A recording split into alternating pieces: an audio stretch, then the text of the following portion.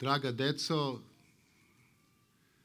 dragi stariji učesnici ovog fantastičnog festivala, skupili smo se iz brojnih krajeva iz Gračanice, iz Brčkog, iz San Petera, u Rumuniji, iz Pazove, Indije, Zemuna i brojnih drugih mesta.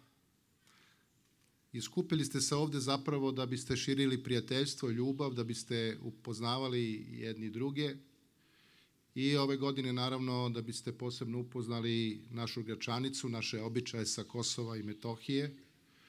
I da bi naravno i deca iz Gračanice upoznala ovde severni deo naše zemlje, Srpsku Vojvodinu i upoznala običaje i kulturu i decu, svoje vršnjake koji ovde žive koji su danas zajedno sa nama u fantastičnim nošnjama i iz ovog kraja i upoznaćemo i nošnje sa juga naše zemlje.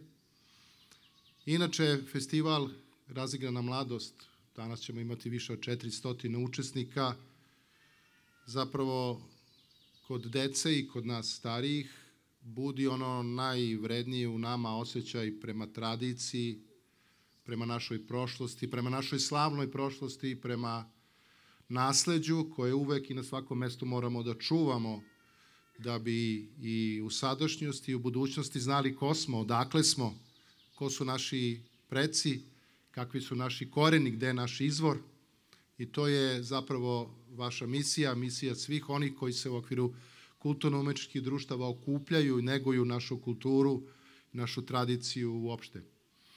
E, veoma sam zadovoljan što možemo da vas ugostimo ovde u prirodi, u ovom omladinskom kampu, praktično na Letenki, gde decenijama unazad mladi provode svoje vreme upoznajući se, razvijajući sport, kulturu i sve ono što jeste svojstveno mladim ljudima i što će kao uspomenu poneti i odneti u svoje krajeve. Zahvalan sam ljudima iz Pokrinjskog, e, Pokrinjskog e, zavoda za sport i omladinu koji su uspeli da pomognu organizaciji ovog sjajnog festivala. Jedva čekamo da vidimo šta ste sve naučili sa svojim učiteljima, umetničkim koreografima, koji će, siguran sam, biti ponosni na vas kada stupite ovde na pozornicu ove sjajne, sjajne letenke. Šta drugo da kažem?